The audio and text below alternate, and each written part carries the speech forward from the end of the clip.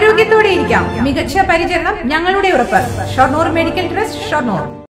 ഒറ്റപ്പാലം ലക്കിടി മംഗലത്ത് വിമുക്ത ഭടന്റെ കയ്യിൽ നിന്ന് പണം അടങ്ങിയ ഹാൻഡ് ബാഗ് പിടിച്ചുപറിച്ചു മംഗലം രോഹിണിയിൽ ശിവനന്ദ മേനോന്റെ ബാഗാണ് ബൈക്കിലെത്തിയ മോഷ്ടാവ് കൈക്കലാക്കിയത്.